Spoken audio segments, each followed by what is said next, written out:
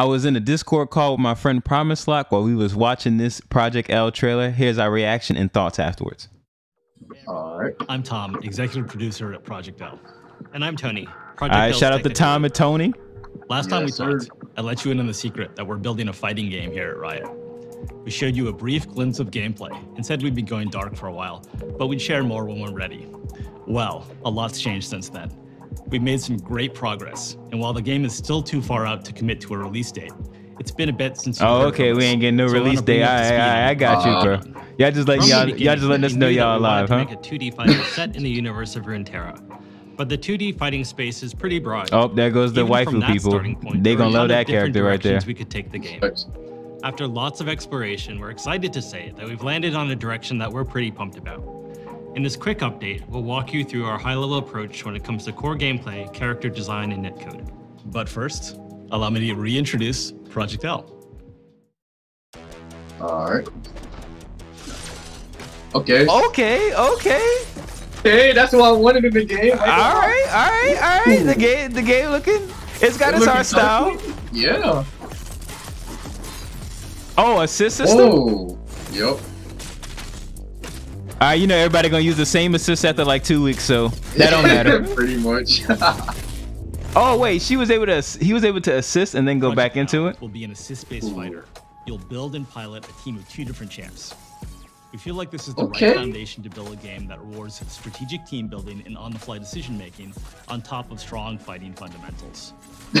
Our goal is to build a game that delivers a fast-paced, dynamic combat fantasy while leaving plenty of room for you to be creative and express yourself in gameplay. Like a lot of you out there, we're inspired by the insane outplays. hard Okay, reads, I like the way the game looks so far. some of the most iconic No. It looks. It looks like they got a budget. the dream for us is to Mm-hmm. deliver a game that Oh, allows that you- character's annoying, bro. Now let's talk about controls. I know that a lot of you have strong opinions about mechanical difficulty in fighting games. For Project L, we're embracing the easy to learn, hard to master mentality. So yes. Okay. we are making it easier to jump in with a new character and learn their basic kit. That said, we absolutely believe in rewarding the time you spend going deep on a character and providing opportunities for you Okay. to showcase your high-end mastery. Thank you. One of the delights of fighting games is seeing top players move and fight in a way that's inspiring and distinct from lesser skilled Oh, players. that combo is Mm. nice. Where it is steadily increasing difficulty for attack oh shoot. This isn't about building a game where new players have a chance to be the pros.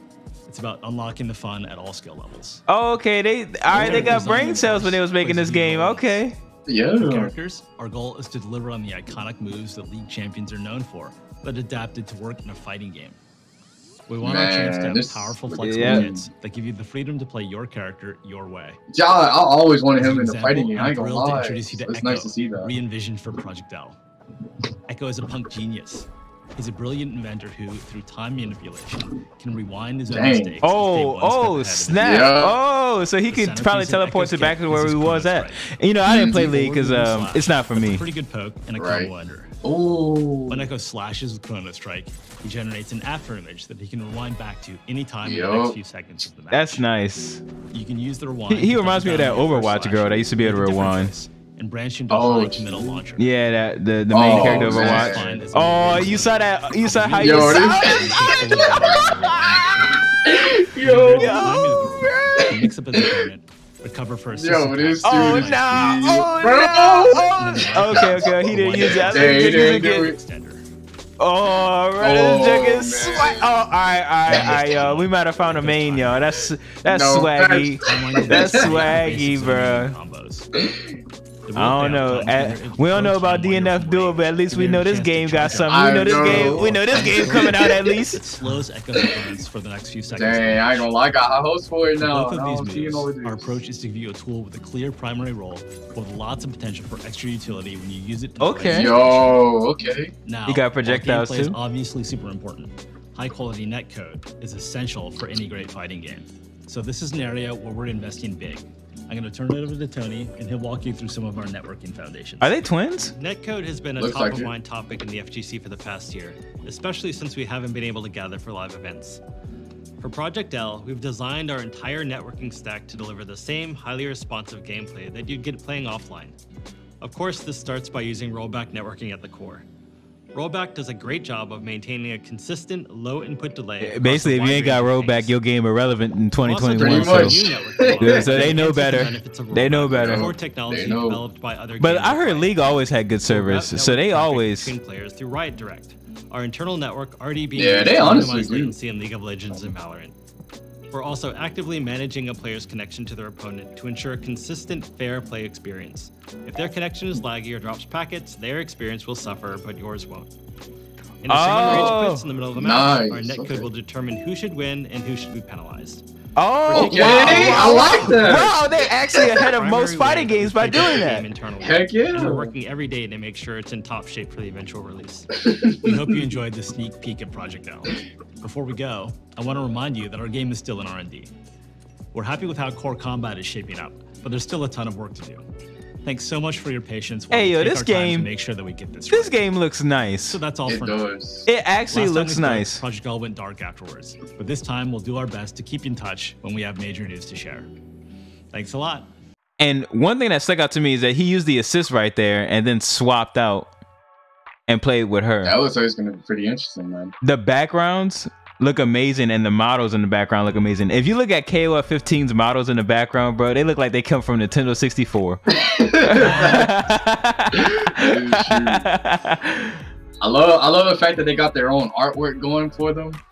I love the fact that like everything about it in the background with the characters as well is just beautiful. It, like it doesn't even seem like static, and I like how you know when the character is moving and stuff, stuff in the background kind of moving with you at Right. the same time. and what I really liked about this trailer is that they said they we're here to move on with mastery. So if you get good, we're not gonna throttle you to where some newbie could do the same thing you do and embody you. So I'm gonna see if they stick to their word on that. Oh yeah, most def. Why are you so excited about Ekko? Why you you done brought you done brought up in- the reaction you said you were excited about Ekko. Why are you so Oh, excited yeah. about Ekko, bro? All right, so the reason why I'm excited about Ekko is because I remember when I was playing League of Legends. So basically, the the teleport system that you see in there, where you have the after image, you know, that would be considered like the chrono break. You know, you would teleport from one place to the other. I always envisioned that that would be something that you would use for combos, and I'm glad that they have it like that because I was kind of afraid that you know because it's an ultimate in League of Legends that they would be like, nah, we'll just use it as some type of special super or something like that. I'm just glad that they didn't do it like that and they actually imagined it the way that I was imagining it to be. But just seeing all of the potential combos that you could do with it, it's just nice. That is the longest answer for. I'm glad he's in because he's black. Yeah,